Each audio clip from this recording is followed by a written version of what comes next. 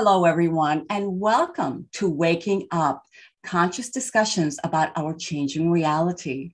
My name is Carolyn Greenleaf, and I am here with a very special person. Her name is Wendy Rose Williams. And um, just just wait um, she is she really is a gift and i was really happy that she connected with me let me tell you a little bit about wendy wendy rose williams had two near-death experiences in 1997 while she was pregnant and uh, she met her angels for the first time while home alone, lying unconscious on the floor, and again the night before surgery. Meeting her soulmate in 2010, uh, that Wendy con- contracted to with her waking up spiritually, led by uh, Dr. Michael Newton's um, Journey of the Souls. These two events in tandem triggered a rapid spiritual awakening and a wild ride as they worked to resolve 21 shared lives. Wendy has consciously been aware of more than 125 of her own past lives. The remarkable difference in Wendy's life from healing, her own energy inspired her to help others release pain, anxiety, and depression that no longer serves them. Wendy trained with Dr. Brian uh, Weiss of Many Lives, Many Masters that I have, uh, when he came out with those books many years ago, I grabbed those. Um, he's, he's wonderful. Uh, and, um, and other leading experts to learn and facilitate past life regression and future life progression um, healing sessions. She is a certified spiritual teacher, Reiki master healer, past life regressionist, and she also channels Mary Magdalene. She's also the author of, is it two or three books that you have, Wendy? I have the third one's getting ready to be published. So there's two published yeah. now, and I'm also working on the fourth and the fifth. So they're starting oh, to come more quickly. Fantastic. Okay. Can you just tell us the names of your books? Sure. Uh, they are on Amazon and Audible. And the name of the first book is Regression Healing One the Huntsman uh, and the World War II Soldier. And the second one is the Flow One Plymouth Plantation. Wow. Wow. That's it sounds amazing. And do you want to uh, tell us what the other two books are? Sure. Um, the book that's off being formatted right now that will be published next is Regression Healing 2, which is a nonfiction series of the most interesting client sessions, including some of my own uh, via past life regressions and this it's regression healing to joe and marilyn. And then the next book that will be coming out after that is regression healing 3 mary magdalene remembers. Wow and just so to put people's minds at ease, I'm sure that you do um, have permission from your clients to use their. Absolutely. Their identities are blinded. I have them read the books ahead, you know, give them that choice, make yes. sure they're really comfortable. That's such a great point because client confidentiality, it's critical. Absolutely. So, yes. Absolutely. Um, yes. Thank you for bringing that up yeah, anyone in the spiritual field, we have access to a lot of things. And so our integrity, I think, is one of the first things that our guides and angels work with us, us on uh, because of the sensitive material and um, the sense, the, the energies. You know, um, I mean, you are trained in energy healing as well. So you understand um, the different levels of, of energy fields that every human encompasses. And one affects the other you know and it's like domino effects. So you really have to be uh, versed and um, you know in you know what um, for instance um, energy healing what could that trigger emotionally? What could you know what could happen next? And then having the tools um, available and i know that you do uh, you also have them. And one of them you're going to treat us to um, at the end. We're going to have a beautiful meditation from wendy Uh, but let me just finish here. Uh, she is also a co-host of Waking Up Spiritually, a podcast. And how often do you? Is it every other week it's, that you have this? It's twice a month. It's the second and fourth Sunday of the month. We do it live, and then it's also available on our website, wakingupspiritually.com. So everything is archived there, and we do them with PowerPoints. So it's kind of fun if you like to have the visual uh, mm-hmm. you know, versus just just uh, listening to it. And listening's great too. You know, you're driving, you're you're making dinner, yes. doing whatever, but the various various options are there. And I co-host it with Greg Kirk, um, who is an energy healer and friend um, from long ago. Okay. Okay, great, great. Um, let me see. And then, uh, you know, I'm going to have all of Wendy's um, contact information uh, because she does she does many different things. Um, and uh, and I want to make sure that people are aware of this. But uh, your own website is uh, WendyRoseWilliams.com. Yes. Okay. And I'm going to have all of Wendy's links, how to connect with her at the end of this video, and also within the information, um, you know, even uh, through the audio versions.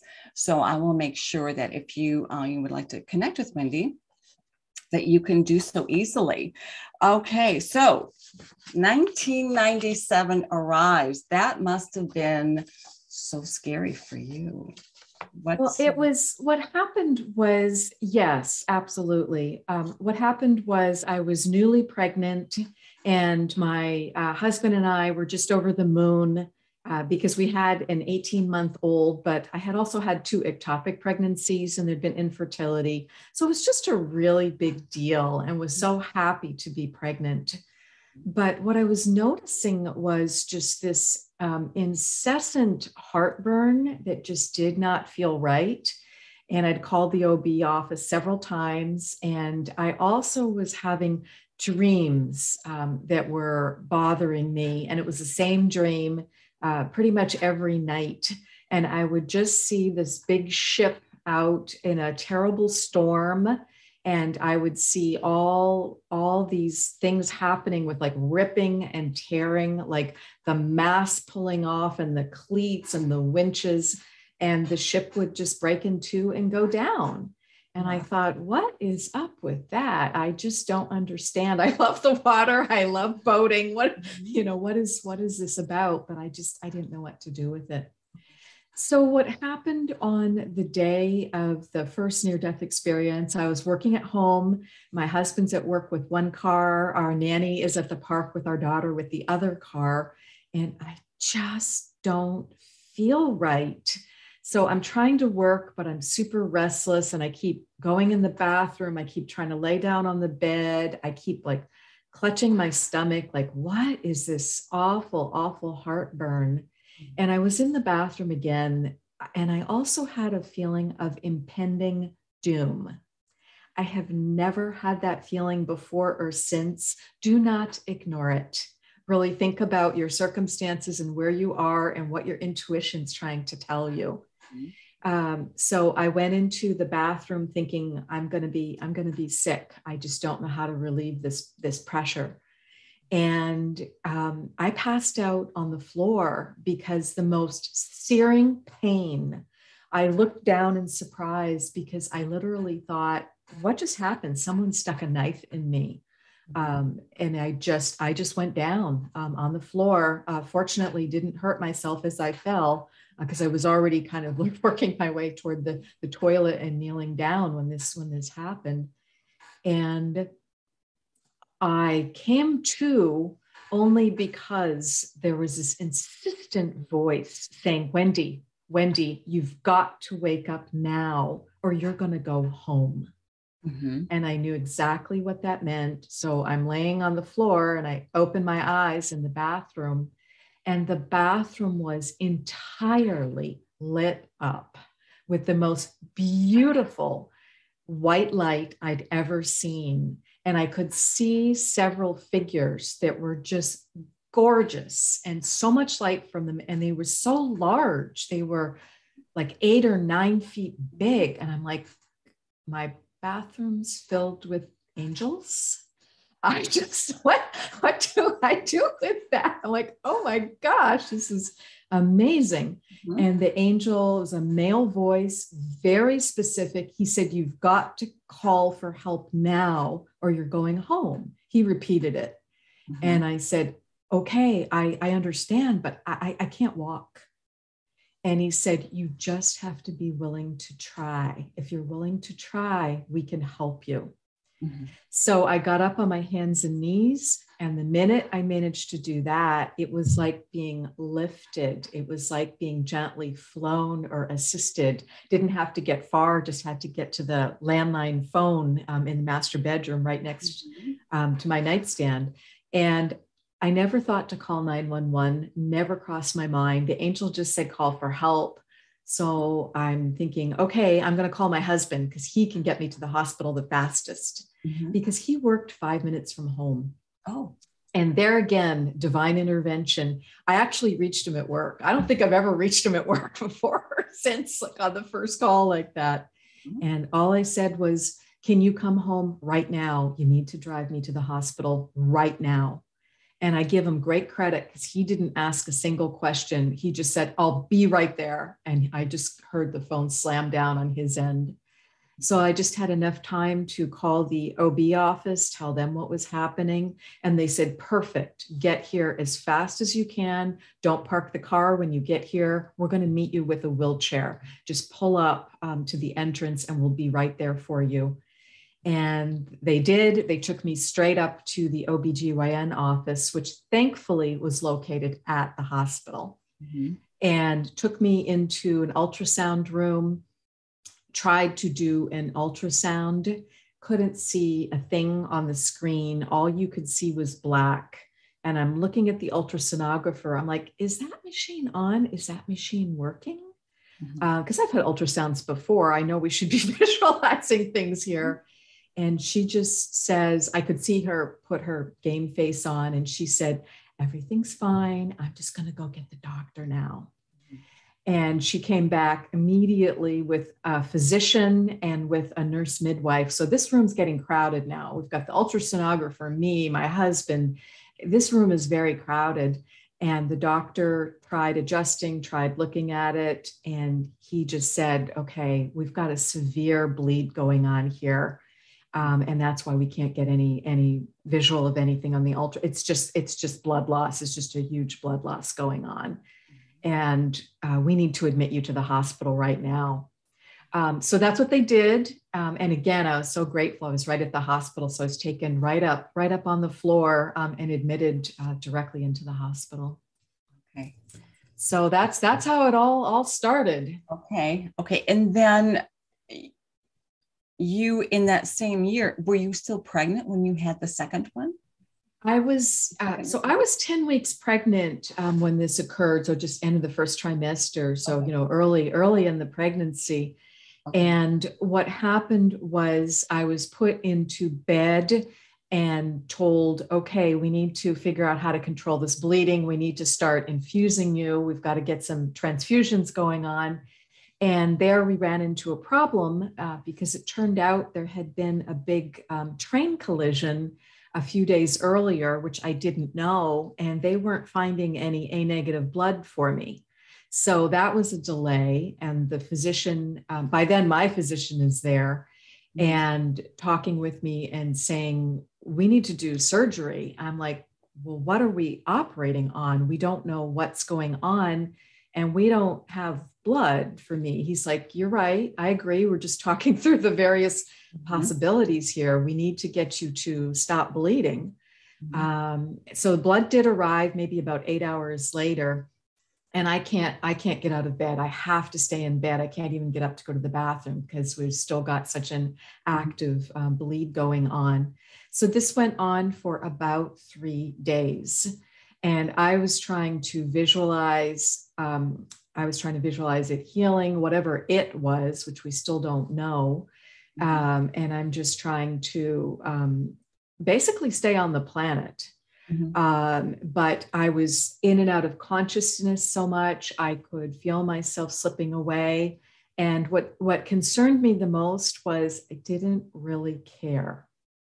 Um, I could feel myself giving up because it just felt more peaceful to be unconscious versus being in so much pain and not knowing what was happening. Mm-hmm. So they, of course, were taking very good care of me in the hospital, uh, monitoring my hematocrit each day. And it got to the point by about the third day that the physician looked me straight in the eye. I knew him well. I delivered my first baby with him, had gone through infertility, really trusted him, knew he was um, a, a, wonderful physician um, and just a great person. And he said, Wendy, you're, you're bleeding out we need to call a spade a spade at this point. You need to have surgery. Will you please agree to surgery? And I said, yes. And he said, we're going to have to, you know, discover during the surgery what the cause of the bleed is because we don't know ahead going in. What it turned out to be, so I agreed to have the surgery. And what it turned out to be was my uterus had ruptured at the very top, and it's an aorta called the fundus. That's why I was having all that horrible, what felt to me like heartburn. That's what that knife was that I felt had been just a stabbing pain. I felt like an organ had burst. Mm-hmm. And I was correct, but I'd been, been hoping it was like a gallbladder, something so not you, as essential. Do you think this was the ship the uh the dream that you were having? Exactly. My ship was going down. Exactly. Okay. exactly. That was the dream but i didn't know that the ship represented me um, and i didn't know um, and you know i don't think i could have mm-hmm. done anything differently. I don't think calling 911 because i had a dream was not going to be helpful. Yes. but again just be paying attention to your intuition is key. Absolutely. And, you know, um, a lot of people, um, you know, they move into fear all of a sudden. And the beauty about uh, being spiritually connected is that you can you can then feel your guides and angels around you. You can feel the universe supporting you, and that whatever needs to be is going to be immediately, just like your husband you know, it was yes, everything is set up. Yes. The universe, your higher self knows exactly what's going to happen before it's going to happen. That is so, such a powerful point. Absolutely. Yes, yes absolutely. Yes. So when I had realized that years ago, it really helped to just alleviate a lot of stress. I just, you know, surrender to the universe and know that the universe has my back. Yes, it's go with the flow, literally, and just try and have sense yes. of humor about it Absolutely. and just try and spiritually surrender. Because yes. things, yes, can be challenging at times, but yes, the mm-hmm. universe has our back. Yes, yes. Now, so your second near death experience was this prior to the surgery or during or after? It was the night before the surgery. So I had agreed to it, and I'm just trying to relax after dinner that night. I'm trying to visualize a great outcome, but I am just so exhausted and so, um, so tapped out that what happened was the moment I pictured a great outcome, I went right out of my body.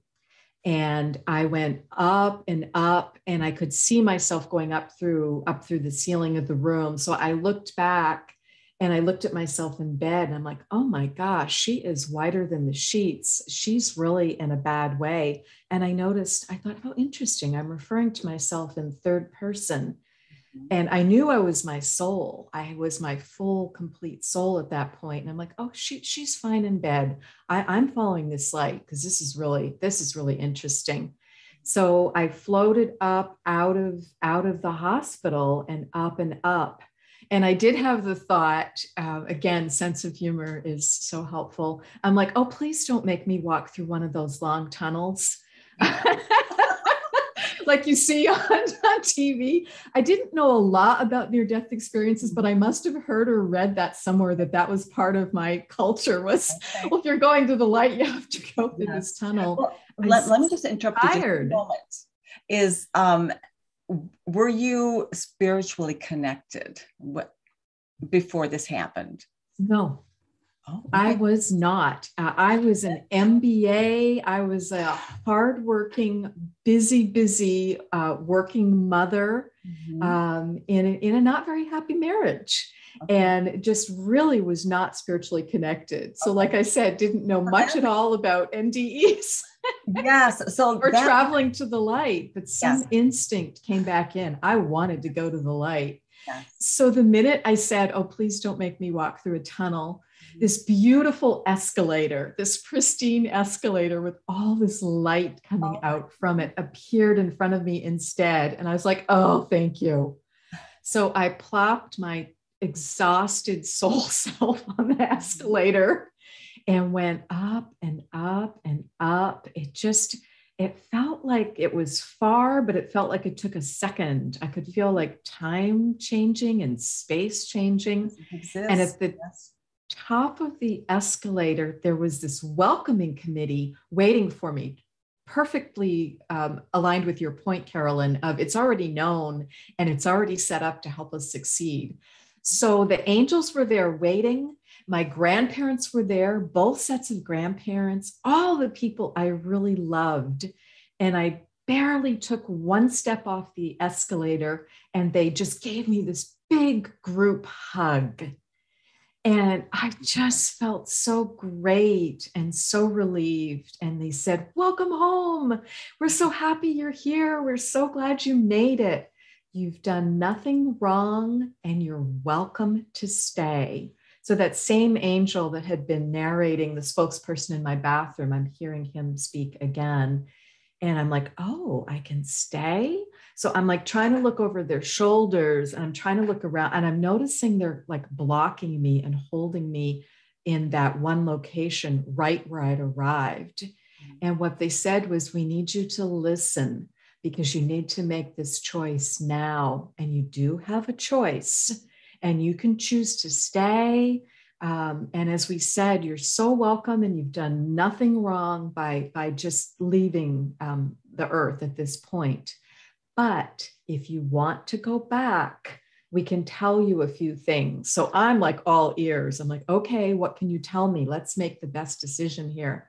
They said, if you go back, you will have a successful surgery tomorrow and you will fully recover. And we want you to know your baby will be born healthy. So this is huge. This is huge information. So I'm like, oh, wow that makes me much more inclined to want to go back plus i had my my daughter i've got this amazing toddler so when the minute they said to me what do you want to do i could just see tara's face and i could picture this new baby that was coming and that i was going to be able to recover my health and be healthy so and then they added there's one more thing we want to tell you so you can choose, so you can decide. If you go back, life is going to be very hard, likely for many years, because you're not on your life path. So mm-hmm. I'm like, oh boy, what is my life path? So I'm asking them, I'm like, what? What am I missing? I really want to live. I really want to be on my path. I want to live my purpose. I want to do the right thing. Mm-hmm. And um, no one would answer. And I'm getting a little frustrated because this is critical information. So the guides and my my um, grandparents start being silly, and they're like putting duct tape over their mouths, and they're like like like like locking the key on their lips and throwing the key away. And i'm like okay you're you're you're not supposed to tell me. I get it. I just need to let that go and be grateful for this experience that i've had the information that was shared with me. Um, and they gave me one more big group hug because i chose to go back. And that time i realized it wasn't just unconditional love we don't feel that very often, but to feel that, but I realized they were giving me an energy infusion. I don't think I would have survived the surgery the next day. They estimated I lost three quarters of my blood supply during this whole process, um, and they weren't able to transfuse enough blood in. So I went home um, pretty, um, pretty flat, flat, flat, flat bunny. mm-hmm. and had to recover for for six weeks at home, uh, not able to even climb the stairs mm-hmm. um, to get up to the up to the bedroom more than once a day was all I could all I could manage. Wow. So, but was just so grateful for the experience. And and the help that I was given and the respectful choice because I hear a lot of NDEers talk about oh I was pushed back into my body or I was just you know shoved back into my body or told it's not your time get back in there. And I didn't have that kind of an experience. It just was so um, gentle and uplifting yet powerful and funny at times too Yes. Um, and it was just so easy to go back down the escalator because they were all like waving to me and cheering me on. And I just went back mm-hmm. in my body and it was that simple. It's beautiful, really beautiful. Um, you know, um, you had written also somewhere that uh, you had a preview of coming attractions. Is this um, the child being, you know, being born? Yes. What I meant by because many okay. NDEers report that they get a life review, and I didn't get um, any of that. The the preview I got was that. I would have a successful surgery and fully recover my health, and that the baby would be born healthy. Um, and life would be hard okay. for, for likely many years until I okay. got on my path, which didn't really start happening until 2010 when I met that soulmate that had the contract to wake me up spiritually. And he introduced me to Michael Newton's Journey of Souls. And that's when everything started to change. Okay. Okay. Great. Great. Um, uh, yeah, that must have been, I mean, that, but the process from um, 1997 it was, or uh, yes, 97 until 2010. That's still, I yes. Mean, time. Yes, um, it was it was challenging. What happened was I did recover my health. I went back to work and about 6 weeks after getting back to work, job I loved, I've been there for years, great performance evaluations and just out of the blue on a Friday afternoon, I get called into my boss's office, don't think a thing about it. And until I see HR sitting there with him and I see their faces and I know I'm going to be laid off. Okay. So I am laid off. That takes down the health insurance for the whole family. And I'm pregnant in this high risk pregnancy and now have no health insurance. One week later, my husband's um, company tanks and he was self-employed um, with multiple partners. They employed about 100 people but they went deeply sharply in the red very very quickly. He has no um, unemployment insurance because he's self-employed.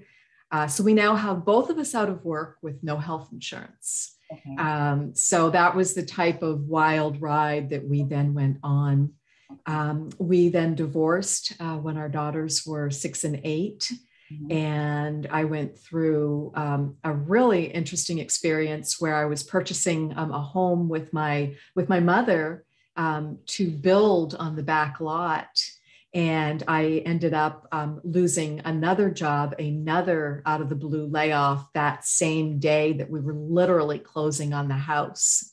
So it's like, do you close on a house when you don't have a job? right. It's interesting and was in the middle of the divorce. Mm-hmm. So it's like, wow. So that was a big leap of faith. But I rebuilt, I rebuilt my life um, the best, the best I could. Uh, we were co-parenting well. We did get the house built after some major, major delays. Um, and then, then I, I uh, about six years after the divorce, I met the man who woke me up spiritually. Now, but between um, your near, near death experiences and that time, um, were you choosing to reconnect spiritually to i didn't um, to know connect? how i was so darned flat out busy and going through so much change with earning a living and parenting mm-hmm. and and then the separation and the divorce and my mom moving from across the country and trying to rebuild life and trying to uh, rebuild my career um, mm-hmm. that um, i just i just don't think my guides and angels could find a way to fit it in okay. um, so it was like it was on a big pause mm-hmm. nothing was forgotten um, but it just it just wasn't the right time. Yes, and that is a really good point uh, because divine right timing. Oh gosh, you know, many in the spiritual world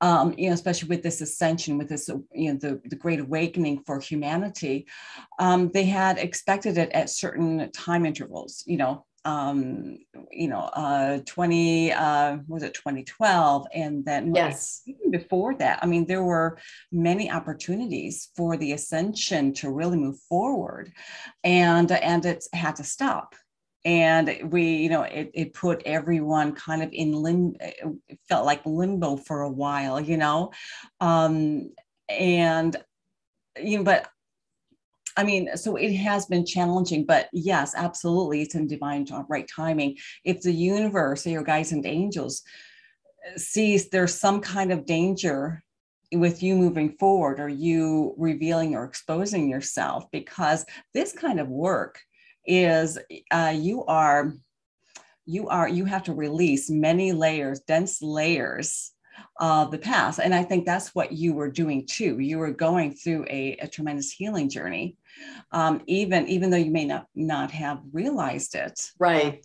Everything things were being adjusted you know exactly. exactly. that you needed to be.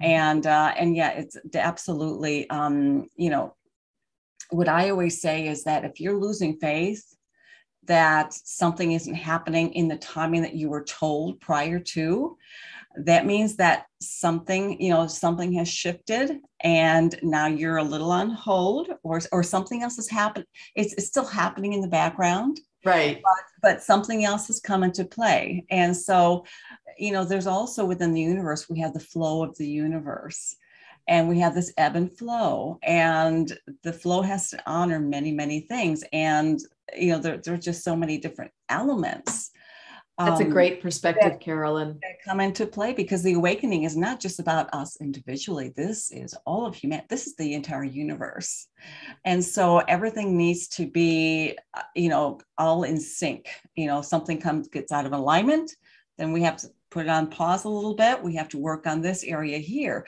But at that same time, we also have the opportunity to work on whatever is out of alignment in the universe or somewhere else that is pausing us.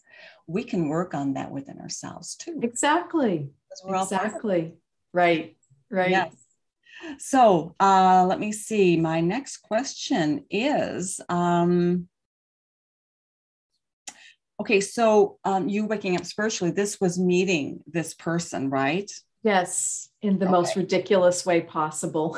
oh, really? Okay. it was via match.com. And I had been oh. divorced for six or seven years. And I had, you know, was like asking girlfriends, I'm like, well, I, you know, I'd like to meet a great guy. I just, I feel ready again. Life's going well. I've got my career reestablished. My daughters are doing great. They were in their early teens at that time. We were finally in our dream home. My mother's living next door. It's a duplex. You know, just everything's going really well. We're just co parenting uh, really successfully. It's like, I'm, I'm ready. Mm-hmm. And so girlfriends tell me, well, you just need to go on match.com. And I'm like, what are you talking about? I have like no idea. And so they helped me put together a profile. And I, you know, I met a couple people. I was like, okay, I think I'm starting to understand this. And then I was starting to hear uh, my guidance and my intuition and my higher self better and better, and didn't realize at first what that was.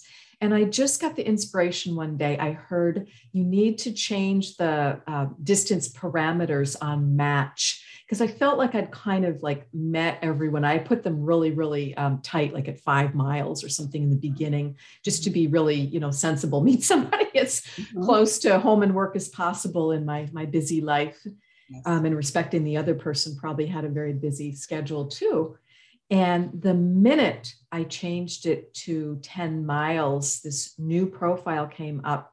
And I'm looking in shock on the screen. And I'm like, I know this man. I know this man. I know this man. So I'm like scratching my head. Where did we meet? And I'm like not quite remembering him from. And as I'm reading his profile, it's like I'm two sentences ahead and I know what he's written, not in a not in a boring, mundane way, but just like, oh my gosh, this is amazing. Mm-hmm. And so I wrote to him right away and it's like where do we know each other from and I just I just asked him he's like I feel like I know you too. Mm-hmm. Uh, so it took us a couple weeks to arrange schedules and meet for lunch mm-hmm. and we could not stop talking. We were in that restaurant for 3 hours. And I, I think we both would have stayed the rest of the day to get back to work. And it just was amazing. And what we realized was we had not met in this lifetime, it was our past lives. So we became uh, spiritual seekers together and just had this amazing uh, romance for over a year uh, that was very challenging. I would call it the highest highs and lowest lows uh, type of, of romance because there was a lot of karma and I hadn't realized and really understood what that meant. So we had a lot of lessons to complete with each other, um, and we we did that. And then when he ended the relationship, um, I was shocked, devastated. But as I adjusted to it over time, it was the greatest gift to me um, because we were not uh, able to be together um, in this lifetime. Um, just some key key key values did not align. Mm-hmm. So we, but what we did was we reconciled, and I've never done this before. When I've been done with a romance, I've I've been done. You know, I as peacefully and kindly as I can give closure, close the door, just just be done, move on. But we kept meeting and re-meeting in mysterious odd ways. And that got my attention and i realized that meant we still had more work to do. So we we worked together as as friends um, and and worked on being spiritual seekers together for about eight years. Good. so Good. that was that was how that how that relationship went and you had discovered all the past lives with this person uh, it took it took eight years. One just came up recently, but um, I'm, I'm told it's now complete. The, the trifecta is complete okay. 21. Good. Okay. So yeah, and we haven't we we parted peacefully a few years ago, um, okay. but um, yeah, just one came through recently, and I worked it on my own. Okay. And what inspired you to reach out, find Dr. Brian Weiss? What inspired me was I I love to read. I'm a voracious reader, as are most most writers. And I had discovered some of his books and his work, and I heard his voice. He has the lovely just this calm, calm, angelic type of voice and energy and presence. So I started reading his books and I went to one of his one day seminars for the general public.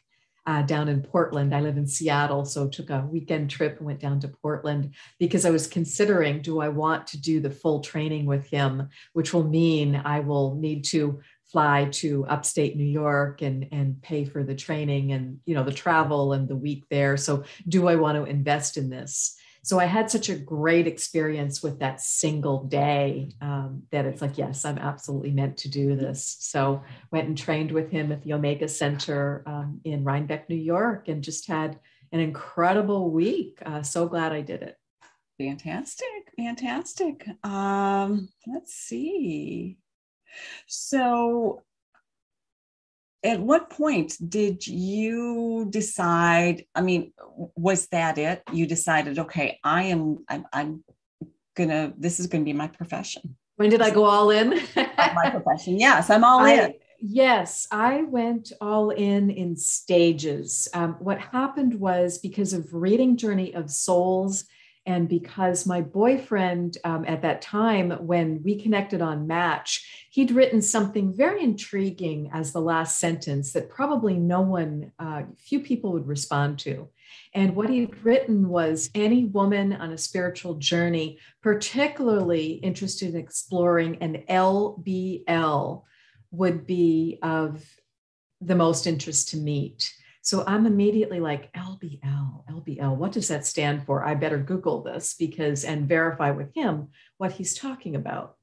Uh, and it was Life Between Lives. It was Dr. Michael Newton's Life Between Lives Spiritual Regression. Okay. And what happened was because of my my boyfriend having had several past life regressions himself and preparing for his second LBL, Life Between Lives, and just generously sharing with me how they had changed his life.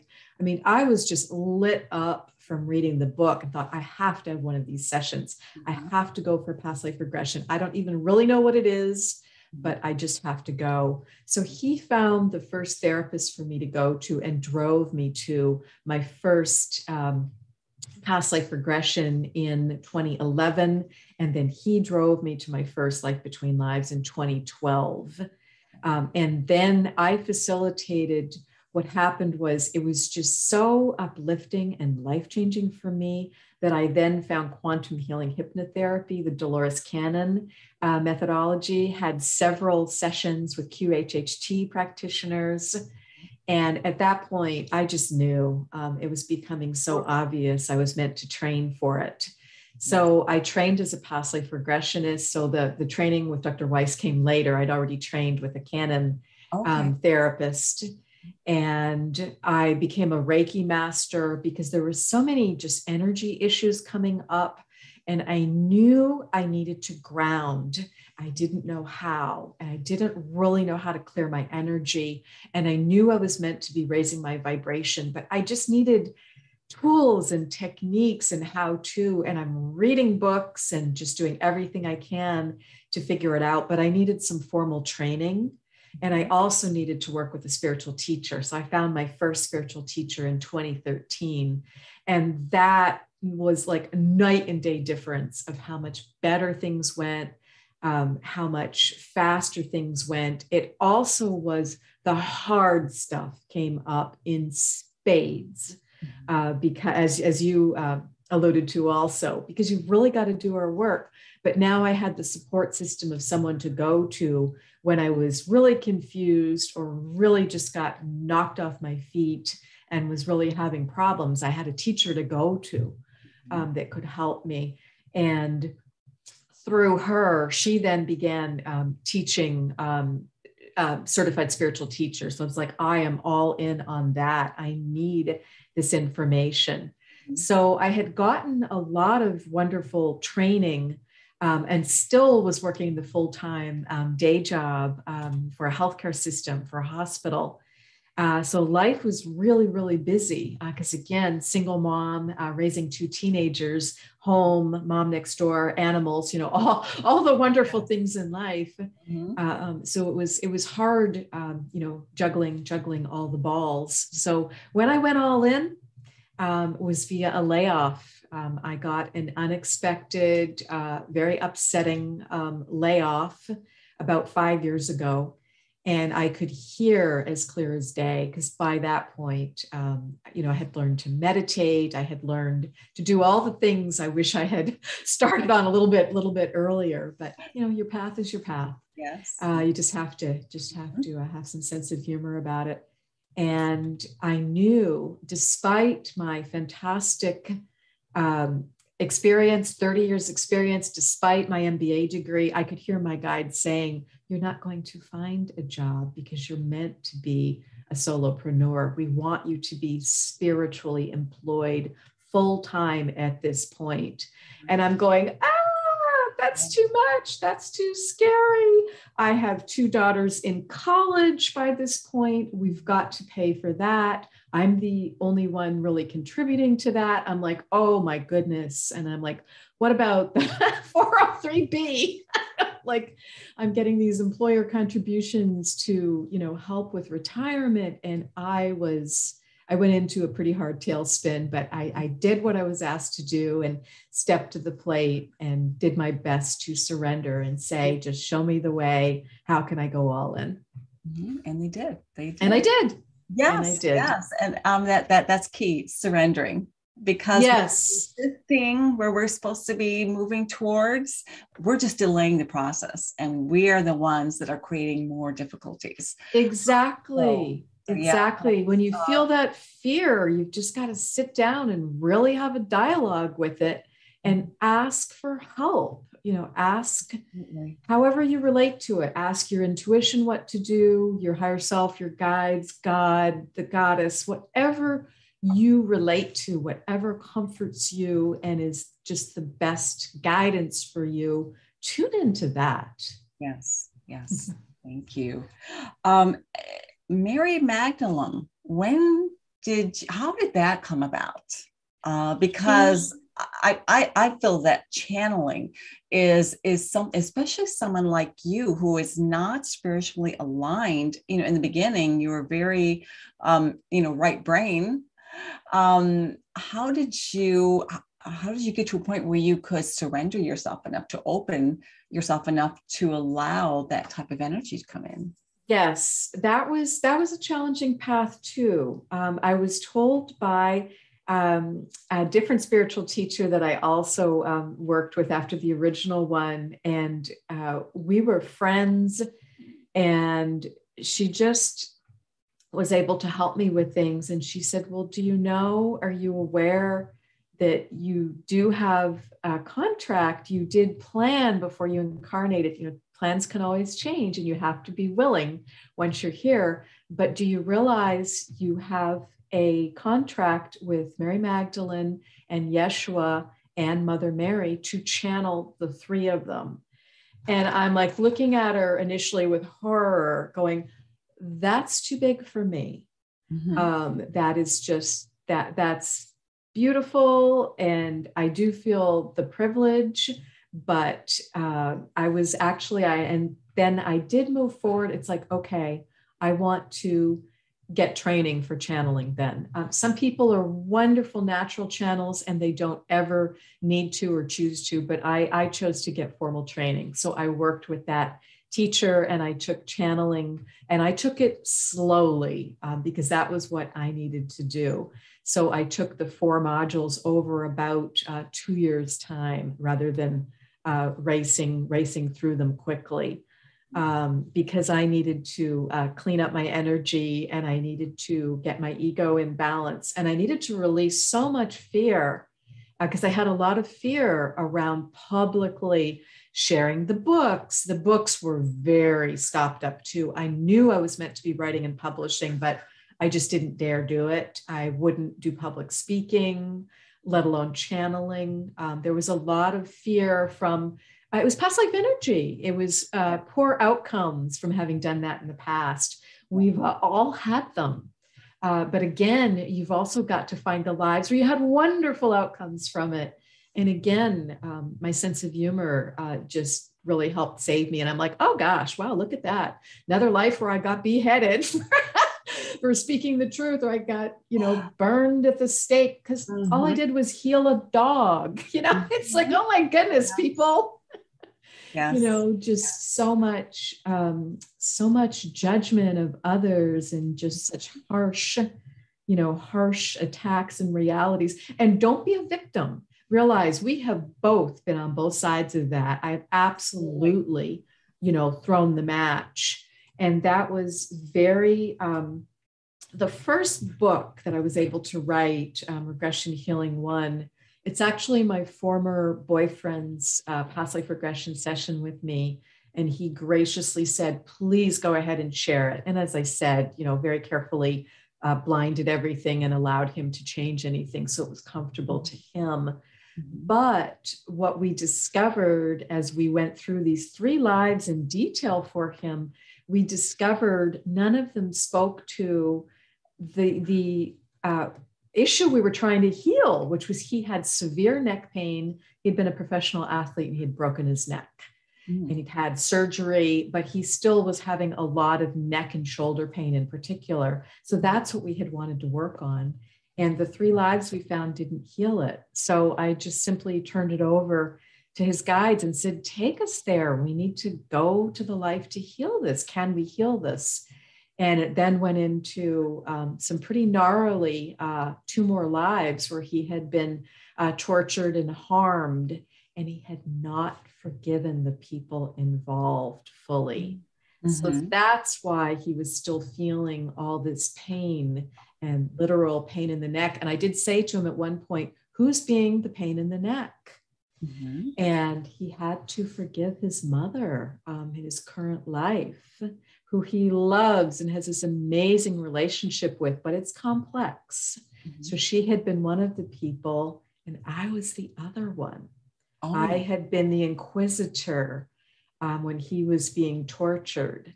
So he had to fully forgive me, and I had to fully forgive him. And when we did that and did it through multiple lifetimes, that's when we both started really getting on the right path in life. Okay. Okay. So, so this was is, a big turning point. Mm-hmm.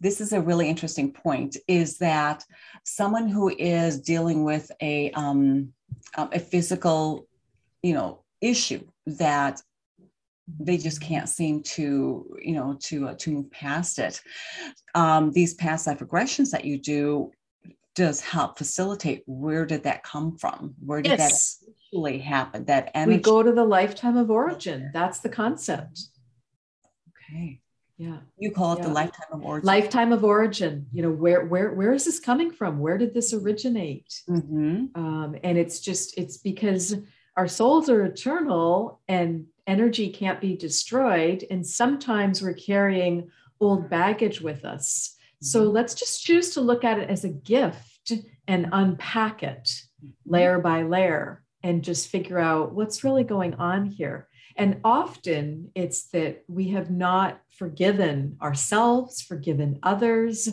or we don't have the right boundaries. We don't have pristine boundaries where we can feel safe and be loving ourselves first and foremost.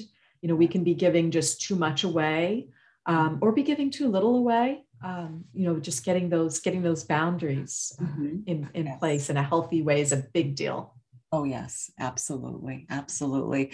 You you know you you bring up many many wonderful points. Um, you know that there are so many so many things are connected um, and so many different layers, especially with um, things that we have carried lifetime after lifetime.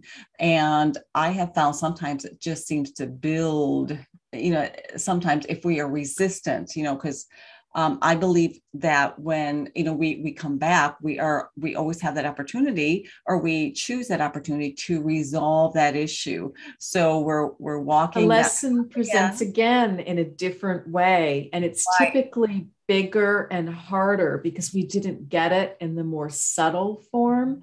Mm-hmm. So I think you know we then go on home and we we are able to uh, rejuvenate and heal to a certain level. But if we're still not getting something, um, we, we plan it out again and just just let let let the play let let the curtain rise and let the play right. um, and um, then you know um, resume.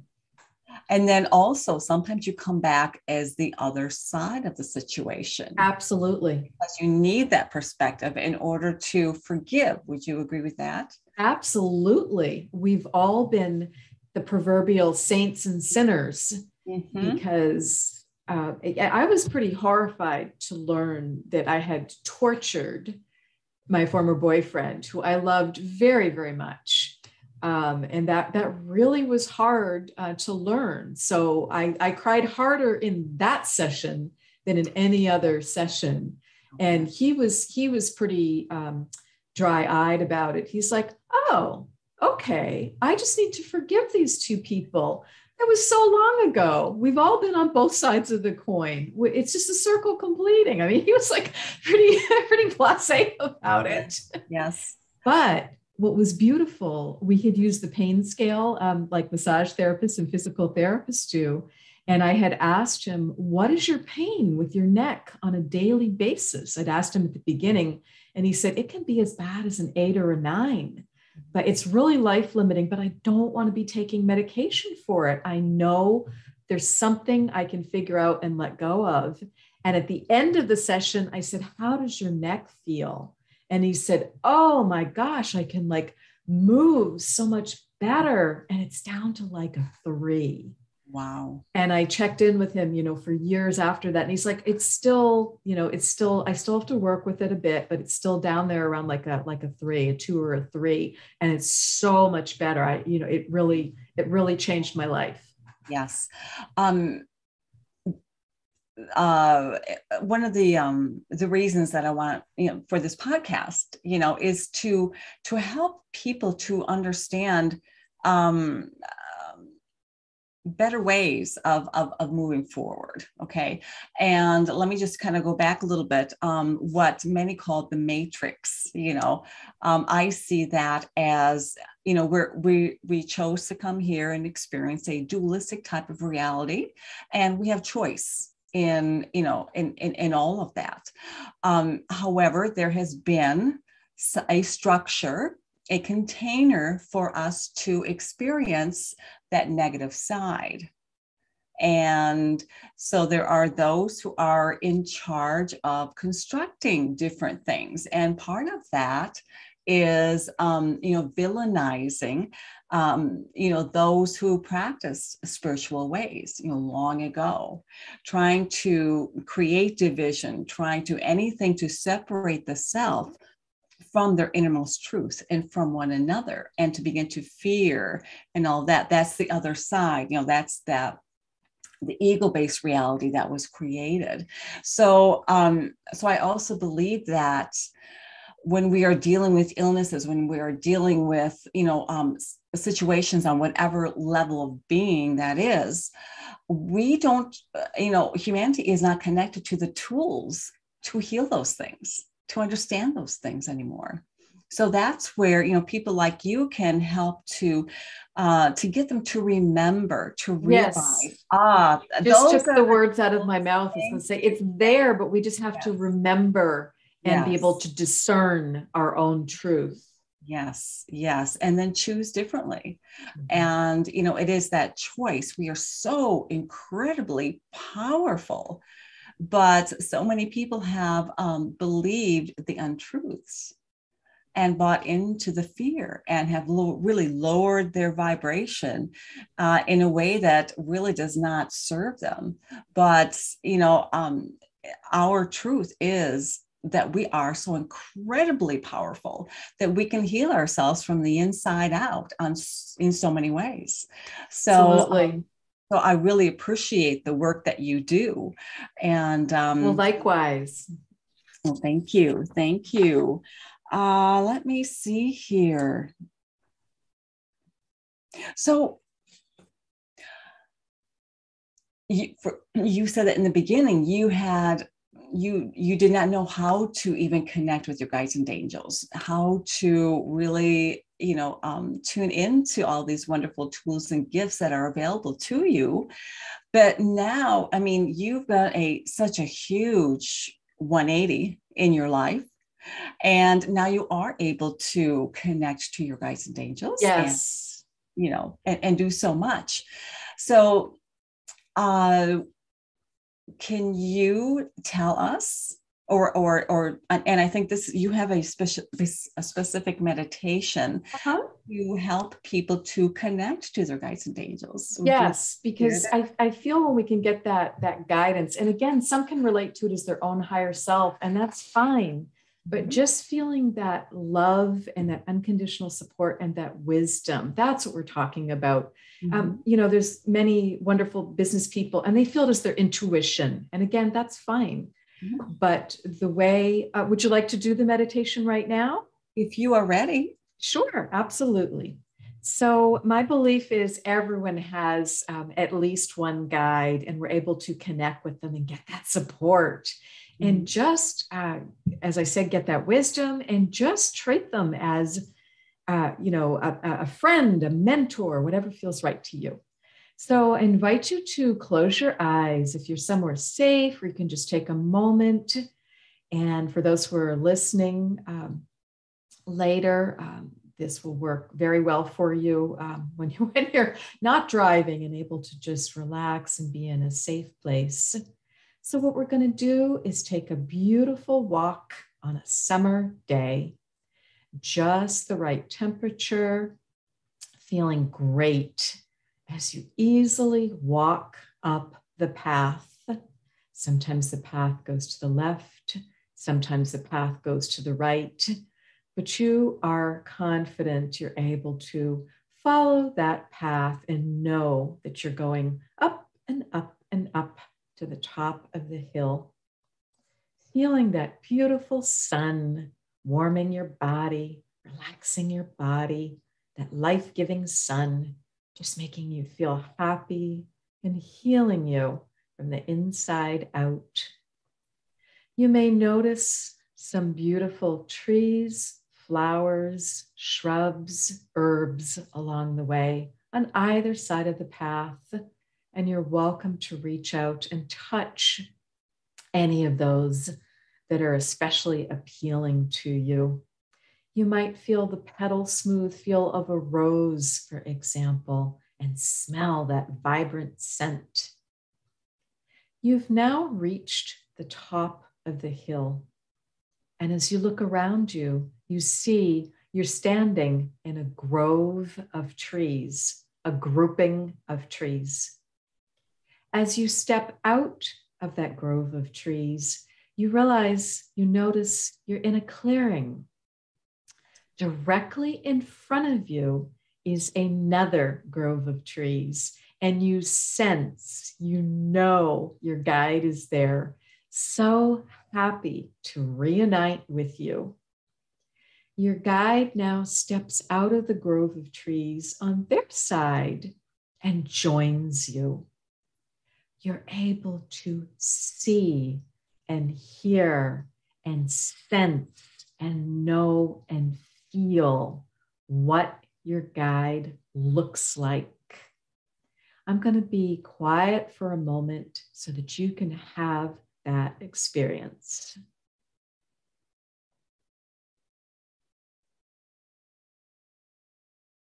Tune in to how your guide presents to you.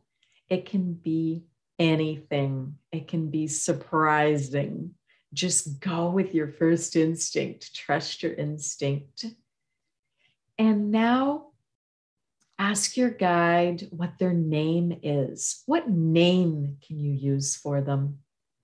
Yes, we've all had many names, but let's just agree on a name that you can use so you can connect with your guide on your own going forward uh, from today forward, anytime you want. Just call them by name. So discover that name and you'll know it now. And your guide has a gift to share with you. And they're going to give you a gift in a beautiful gift box. And this gift is going to be very meaningful, very useful, and practical in your life today. So go ahead and accept this wonderful gift from your guide and take that gift box in your hands you're able to remove the lid and clearly see and sense and feel and know what this gift is for you.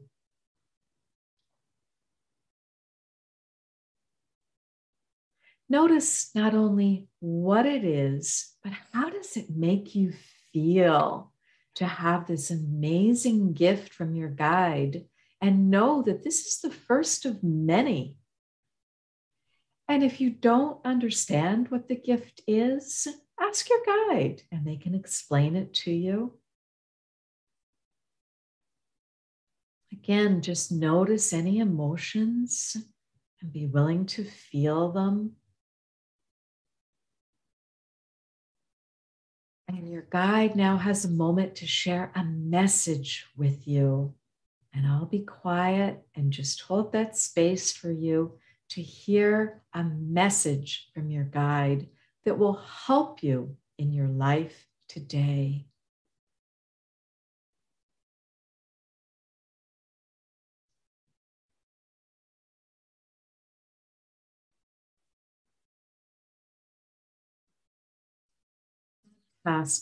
Well, everyone's getting a message from their guide. And know if you'd like more time with this, you can listen to the recording again, or as you're falling asleep at night, ask your guide to visit you in your dreams and to send you hopeful messages that you'll be able to remember and to accurately interpret. And you are welcome to call on your guide at any time as you meditate, as you take a couple deep breaths. Just feel their loving presence and wisdom. You can also muscle test to speak with them and connect with them and get accurate information from them as you learn how to communicate with them. You can use oracle cards. There's so many ways. Just have fun deepening the communication with your guide, and they will be there for you with their love and with their wisdom and with their support. So let's thank the guides for coming in uh, for us so clearly. Your guide is now going to turn and go back into the grove of trees on their side, but know they'll be nearby anytime you want to call on them. And you're able to turn and go back into the grove of trees on your side to come easily back down the hill more easily uh, than you went up, more quickly than you went up, able to be fully, fully conscious and comfortable back in the current day and time, now fully connected with your guide. And when you're ready, you can open your eyes and gently orient back to the present day and time wonderfully connected with your guide.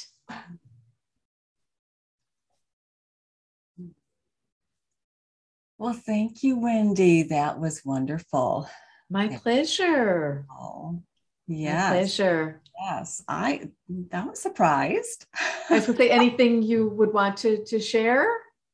Well, um, actually, um, at first I thought it was because i am connected to many of my guides and angels. Yes. And um, there was one, there was one that you had mentioned that I really um, hadn't been conscious of. Well, we haven't been working together um, as well, we've been, we've always been connected. Uh-huh. This is uh-huh. Joshua. Wonderful. Um, years ago, I remembered um, that I used to also be one of his guides. Fantastic. And, and but beautiful. I also, when I was uh, very young, he was the one that would, you know, at night when I would cry myself to sleep because um, I felt like such an oddity, you know, oh. here in this in this life um, that he would wrap his his wings around me often, and whenever uh, you know whenever I was fearful, I I would always feel his presence also, and so it's been quite a while and many many years that I've actually um, you know chosen to connect directly to him uh, because I've been so busy.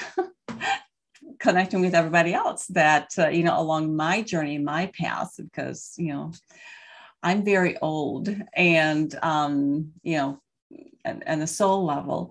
And so I work with many.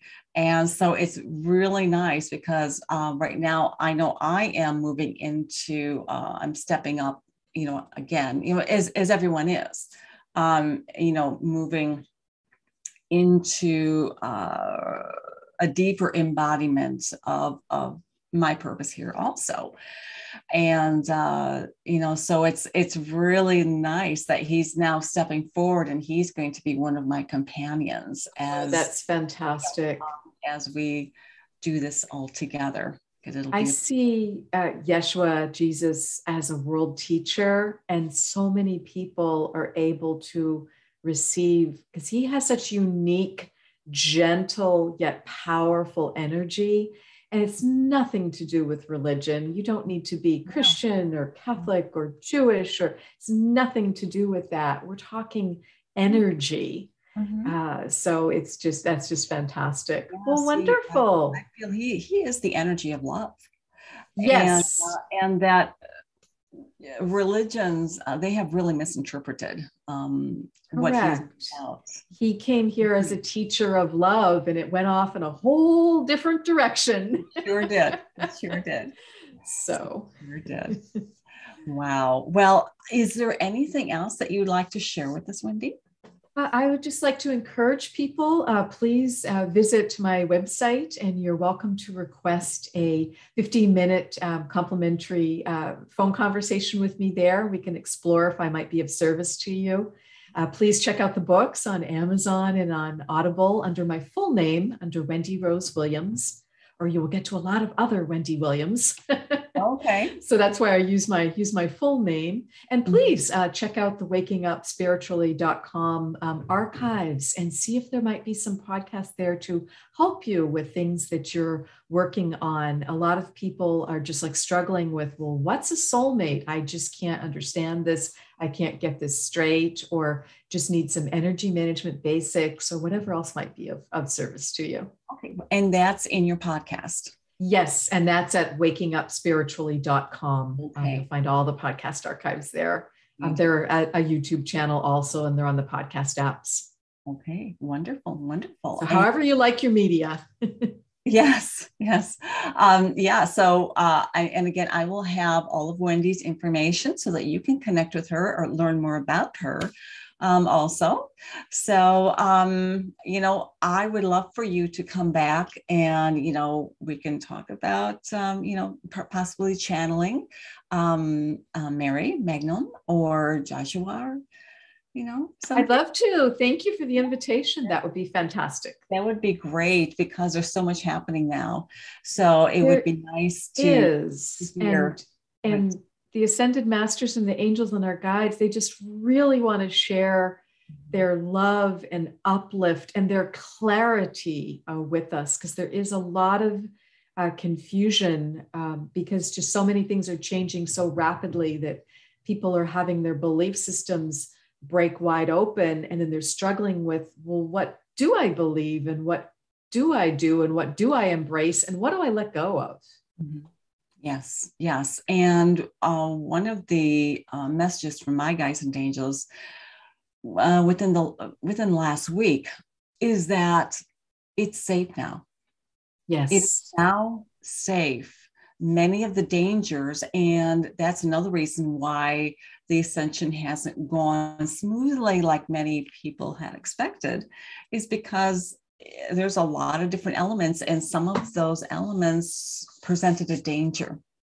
And yes. they did not want to repeat the whole burning at the stake uh, situation and, you know, um, placing anyone in harm's way. I agree. Um, um, by, by just, you know, sharing their truth. Um, I agree. the energy you know, of peace on earth and throughout the galaxies, it's here. It's it absolutely here. But we've got to find it within so mm-hmm. that that can just just radiate out. Yes. Uh, because that's probably a surprising statement to people.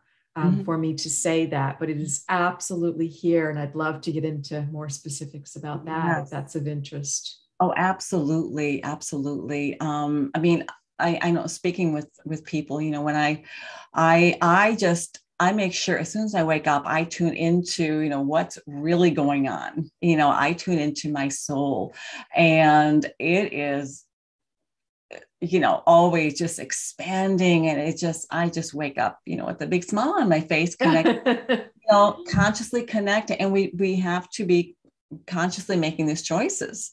And um, to me, everything is just opening up. It's just, it's just exciting.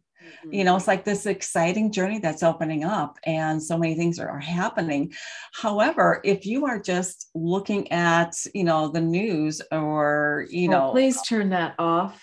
Oh my god that is that's yes, one of the paths to freedom. I turned off the news pulls you in. five years ago. Yes yes yes and so that those it's people, programming it's yeah, not absolutely. helping you no no no. So I mean, you, sure, you might need to check the weather, but there's a together. difference in looking for information versus letting this programming, the doom and gloom report, just lower your vibration and frighten you. That, that is not helpful. Designed to do. That's what it's designed to do. Mm-hmm. Yes. Yes. distraction too. Yes. Yes. But again, we have choice. Right. Right. And, um, and we can we can change everything. Yes. Yes. So, well, Wendy, it has been an absolute honor and a pleasure for you to be here.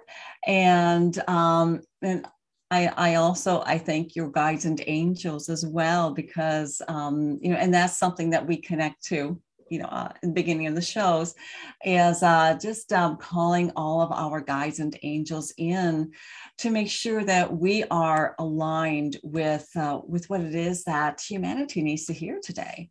Yes. And, um, so so that because that's what we're what we're here to do this is the spiritual work and in doing our spiritual work there is such a tremendous joy in it isn't there Yes, yes. Well, thank you, Carolyn. I just so appreciated the conversation with you and the work that you're doing. One last question is How do you feel now, knowing that you are on your life's mission, your life's purpose, versus in the Oh, my goodness. The feeling, I still feel relief, just joy, contentment, peace. I just feel it, it's just, it's night and day. I didn't start uh, waking up until I was 49. Um, so it's 11, it's 11 years later. And it's just, I just don't recognize uh, where, where I was, um, you know, versus, versus now. There's so much more happiness. My health is so much better. There's just so much more harmony. That, that point you made about the universe always has our back. Mm-hmm. That's, I believe, the biggest decision you can make. Do you truly believe consciously and subconsciously and unconsciously that the universe has your back? Or do you feel like everyone's always out to get me? That is the critical choice that we have to make. And if it's the latter, and a lot of people do feel like that, then it's time to consider do you need to do some healing sessions? Do you need some assistance? Because that's where that's where I was. Mm-hmm. Even though I tried to be positive and have a smile on my face and you know do my best job but because i wasn't doing any of the spiritual work and didn't understand the energy um, it was a slog it was mm-hmm. just a hard slog Yes, yes. Um, yeah, we have a lot of material that we could cover in future podcasts. So, yes, so I, I, hope that you come back again. Um, this has been great. And thank you very much for that beautiful meditation. Um, you know, I, I, well, we'll talk about it um, you know afterwards too. But okay. um, but I, I really really appreciate uh, I appreciate your time. I appreciate your journey. I appreciate your bravery. And I'm so glad that you chose to come back and uh, and to be here with us and to to share what you've learned and to assist people in in their own healing and moving forward. Me too I couldn't be happier thank you Thank you. Um, thank you all for tuning in and either listening or watching us. We truly appreciate you. And I wish for you abundant blessings.